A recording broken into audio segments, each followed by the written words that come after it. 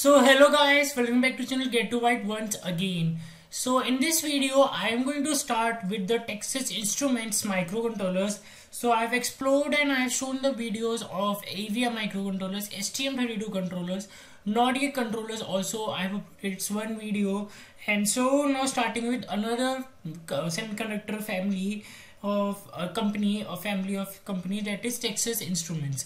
So with the Texas Instruments I'm going to start today and it's board Texas Instruments 430 which is a development kit uh, for Texas Instruments 430 G2553 MCU so we'll be starting with it. In this video introductory video I am going to tell you about the uh, about this Texas Instrument microcontroller setup environment setup and then from the next video we're going to start its bare metal coding with covering different peripherals so now without wasting time let's get started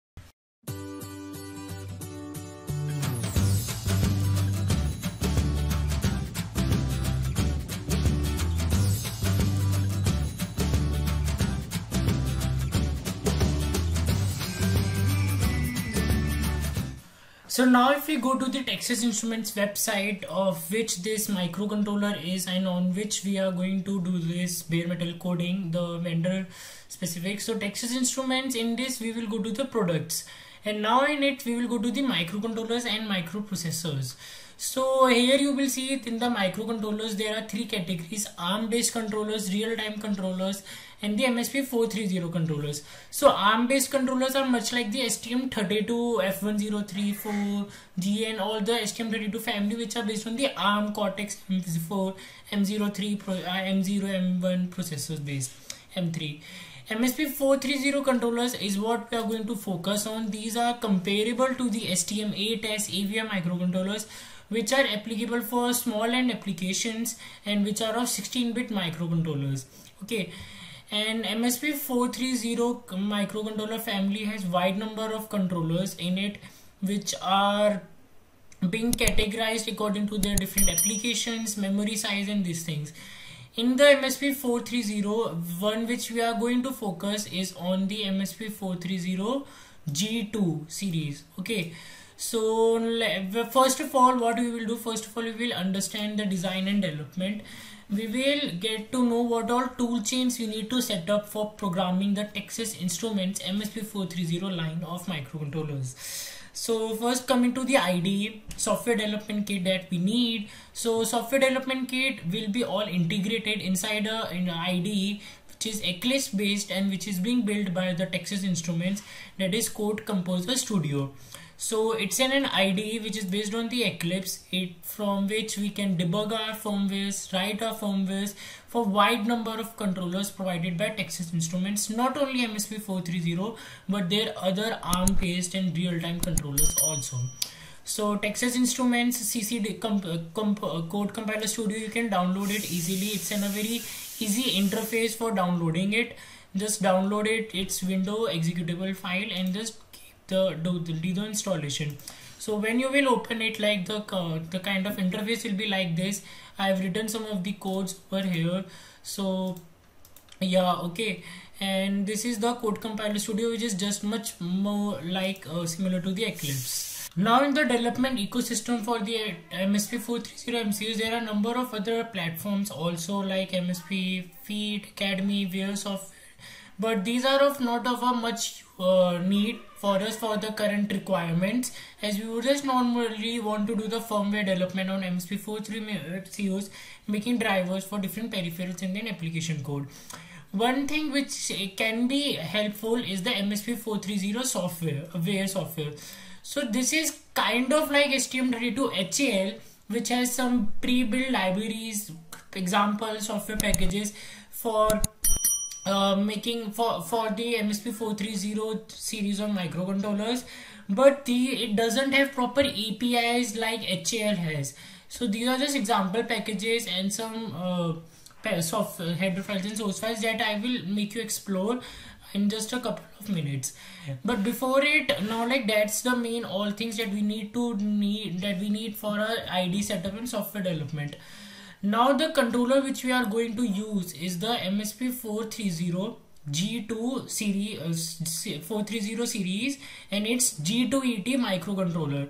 So G2 is the family of microcontrollers by the of the MSP 430 and it's in a launch pad which is being designed for the uh, G2 series of microcontrollers.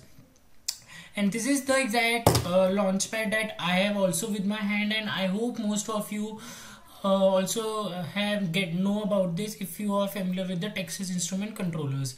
So we will be using this hard hardware development kit okay? And it this kit it's just like an, a development board which supports number of peripherals. It has number of uh, breakout pins for using the pin all the pinouts of the microcontroller online the debugger also and then uh, some uh, input output LEDs and the switch buttons. So let's go to its technical documentation and out of these three this one and this one is the one which will be our main requirement. Okay so this is the launchpad user guide. Okay you i will recommend that you can go and just explore this user guide at first so as to understand the board very uh, in depth also what what all features does the board have what all its pinout is how it, it has the onboard debugger and the texas instrument debuggers are being known by energy trace technology okay? And it has the onboard switch button and onboard two leds which are at p1.0 and p1.6 okay and there are many other features of this board which has and they are very well explained on this document doc. So i will on the dock of this uh, microcontroller it is specified that this my this launchpad comes by default with the G2553 microcontroller which is powered by Texas Instruments. But we can use it for other two microcontrollers also by having them externally so you can explore this documentation to know more in depth about this development board of the MSP430G2ET which is Launchpad. Okay, so now I will go to the microcontroller. Okay, so we have the controller which we'll be uh, using is the MSP430G2553. It's in a 16-bit microcontroller based on the 16 kilobytes of flash and it has number of peripherals UART, I2C, SPI, timer, ADC and other things also. So now I will just give me uh, make you aware that what all important documents we will be needing for making the firmwares on these controllers. So first and foremost is of course the data sheet okay which will be having all the peripherals uh, description about all the peripherals and their registers and uh, all the inner details that will be required okay and the user guide this the data sheet will be generic one for the msp 430 x2xx as we are using msp 430 g2 so this uh, user guide will be applicable for the controller of this also. And just we have to see that what all peripherals are there in this controller and correspondingly we will see them see those peripherals and registers from the data sheet. Now this is the data brief of the MSP430 G2X53 and we are using G2553 so this very well suits our requirement. And these two docs will be a very much important. And this doc which is the data brief contains all the features which are being there in G2 F553 controller. It has UART, I2C, SPI it also supports with the UART advanced peripherals like IRDA, synchronous SPI, LIN protocol and there are timers also.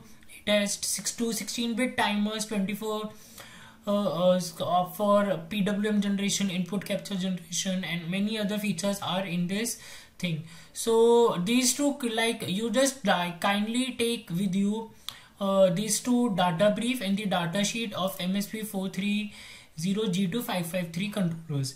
And another thing that we will be needing is the code compiler studio so now let me just navigate you to the new okay workspace so that you can get an overview that what an empty workspace uh, looks like. So when you open the msp uh, code compiler studio and i've opened a new uh, workspace this is pretty much like when you open your code compiler studio at first time.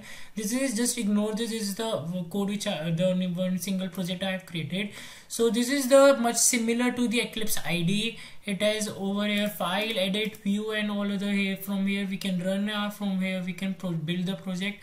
What uh, whatsoever projects which you have opened in the project explorer and this is a text editor. Okay. Now one thing which i want to show you in the code compiler studio is the resource explorer. Now resource explorer is a kind of like a platform which is being given by the Texas Instruments which has all the documentation, software packages, development tools for its microcontrollers, for its uh, de development devices, Code Compiler Studio IR, RTOS, it's Texas Instruments, its own RTOS and FreeRTOS, APIs and all those things. So it's Texas Resource Explorer is like a that platform from where you can get all the information all the documentation development tools and those things related to uh, docs and things for a for, for developing your firmwares and these things. Okay about the kits and ports integrated development environments development tools and then here is the device documentation specific microcontrollers and their whole user guide data sheet data brief and these are the software packages for different microcontrollers and the application codes so resource explorer is also very important one so as to understand different tools devices for to write different firmwares uh, and to know about them okay? And the resource explorer is available in the form of code inside the code compiler studio and we can access it from the view okay? So these are the pretty much things which i want you to be familiar with to get started with the msp 430 uh, microcontrollers okay and we will be starting with this MSP 430 launchpad and now in the next video I will be starting with the GPIO peripheral and then UART I2C and making some application codes on them in the bare metal coding. So till then that's it for this video see you in the next video.